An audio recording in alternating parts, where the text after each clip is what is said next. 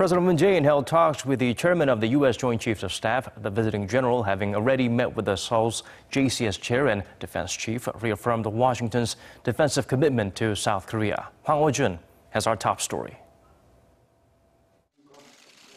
President Moon welcomed General Dunford to Korea and thanked him for his father's service as a U.S. Marine in the Korean War. He then told the general that Pyongyang's accelerating nuclear and missile capability is a serious and real threat to the security of the Korean peninsula and the region. According to the Blue House, General Dunford emphasized that the mission of U.S. forces is to support Washington's efforts to diplomatically and economically pressure Pyongyang to denuclearize, and that the military option is just in case those efforts fail. General Dunford reasserted that the actions and measures of the U.S. will be closely discussed with South Korea as allies and that everyone is expecting the current situation to be resolved without war.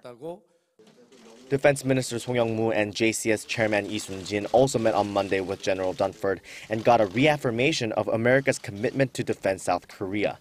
President Moon, in a meeting with his top aides earlier in the day, urged North Korea to immediately stop its provocations and urged that under all circumstances, the North Korea nuclear and missile issues be resolved peacefully.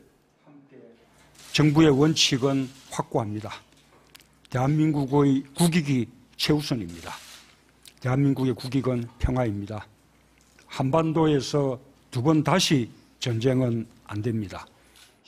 His remarks come amid tensions escalated in recent days by belligerent rhetoric exchanged by Pyongyang and Washington.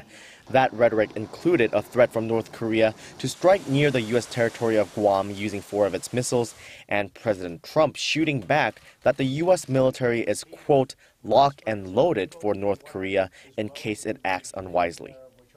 President Moon's policy toward North Korea since the launch of his new government has been maximizing pressure on North Korea, but also keeping a door to dialogue open to ultimately bring about peace between the two Koreas.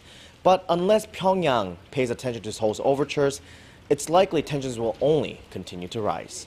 Hwang Hojun, Arirang News.